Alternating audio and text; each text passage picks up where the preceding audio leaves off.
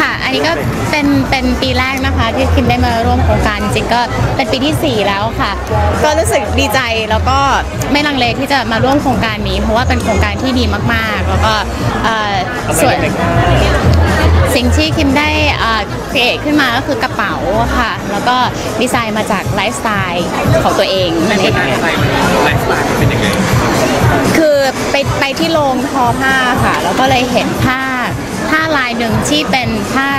ผ้าไทยคล้ายๆลายธงไทยอะค่ะเราก็เลยนำตรงนั้นมาเป็นอินสปิเรชันในการที่จะทำกระเป๋า แต่ว่าก็อยากให้มันมีความแบบเนื้อเนื้อๆอะไรอย่างเงี้ยค่ะ ก็เลยได้ได้เป็นกระเป๋าแบบนั้นแล้วก็มีแบบลูกเล่นแบบเป็นห้อยๆอะไรอย่างเงี้ยค่ะให้มันดูน่ารักมันขึ้นยากยังไงว่าการออกแบบจริง ๆ ก็ไม่ยากเลยนะ เพราะว่าเพราะว่าเราได้ไปที่ตรงนั้นเลยแล้วก็ มันมีหลาย ๆ อย่างที่ทำให้เรารู้สึก inspire ไปด้วยอะค่ะทั้งทั้งตอนที่ไป hall ของเอ่อสมเด็จย่า หรือว่าได้ไปดูโรงทอผ้า หรือว่าได้ไปทำสีจุ่มจุ่มสีผ้าอย่างที่เห็นใน VTR ค่ะ ก็เลยแบบว่าเกิด inspiration เยอะมากเหมือนกัน คือได้ไปลงได้ไปเรียนรู้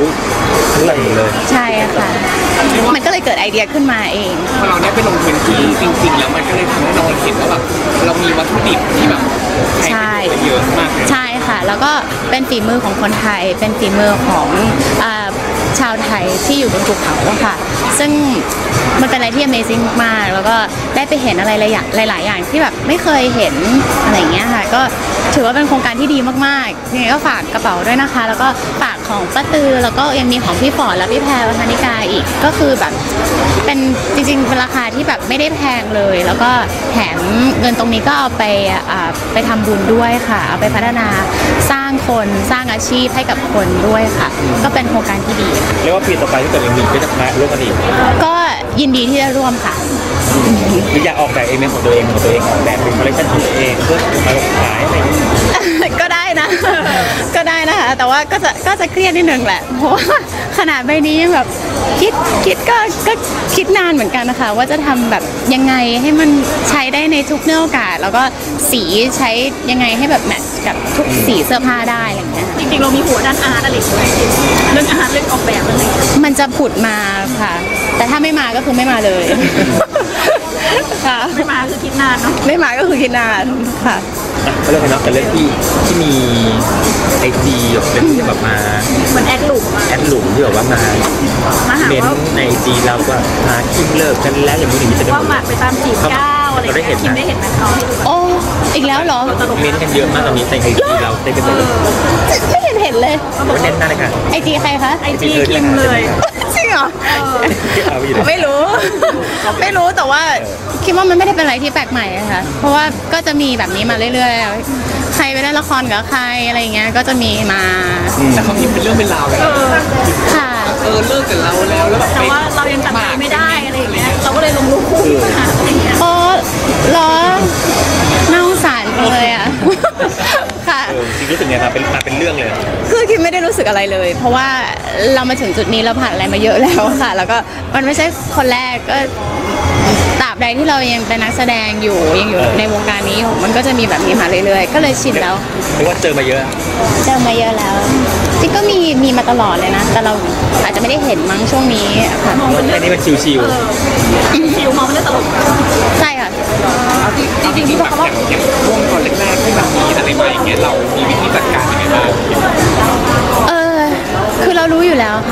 ว่ามันไม่ได้เป็นความจริง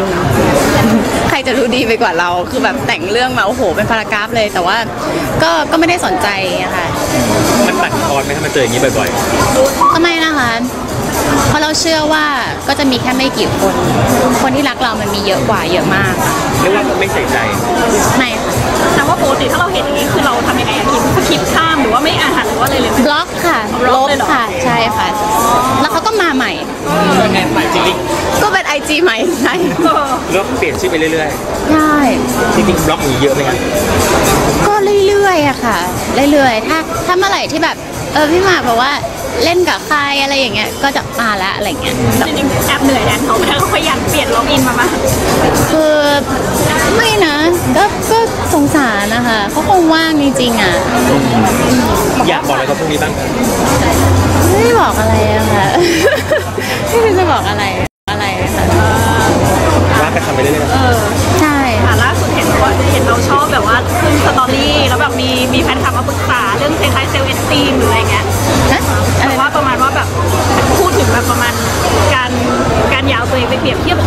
เงี้ยเราเราแล้วเราตอบแฟนคลับด้วยอะไรเงี้ยมันบอกเป็นแบบเรื่องราวดีๆจำได้ไหมคิมเหรอเออคิมจำได้ไหมจำไม่ได้อะค่ะจำไม่ได้เลยมีมีรูปไหมคะมีมีมีมีเดี๋ยวนะเป็นหัวาเหมือนเราแบบไม่ถึงยังไงอะเนี่ยเนี่ยเนี่ยไม่ได้แล้วนะครับนะครับถึง project ชาติที่เราโพสต์เออเอาไปทำเป็นอะไร project จะมีเกิดขึ้นที่เห็นลงเดี๋ยวรู้กันวันที่ 22 นี้ค่ะฝากด้วยนะคะ project พิเศษ project พิเศษค่ะ ก็อะไรบ้างครับเอิ่มมันเป็นอะไรที่เราแบบเราซุ่มทำมาปีปีกว่าค่ะ ก็ก็เอาเป็นว่ารู้กันวันที่ 22 แล้วกันนะคะเพราะว่าอืมมันเป็นธุรกิจธุรกิจเล็ก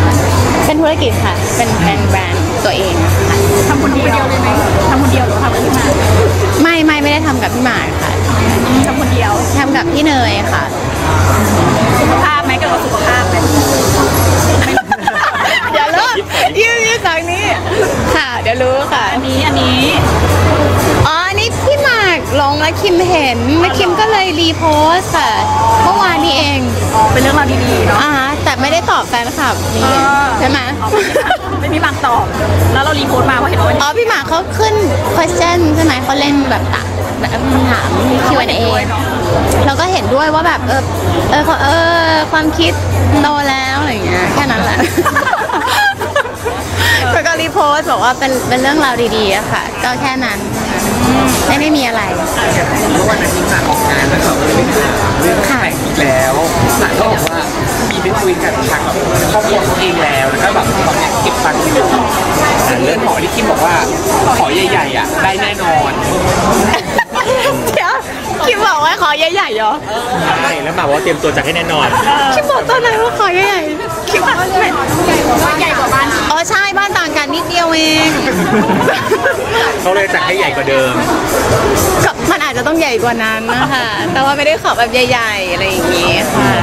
เขาพร้อมจัดแล้วค่ะเป็นไงบ้างคะรู้สึกยังไงบ้างเขาพร้อมอะไรนะคะพร้อมจัดแล้วใหญ่ที่เราแล้วเป็นไงยังเก็บตังค์ก่อนนะคะเขาบอกว่าเริ่มดูที่ใกล้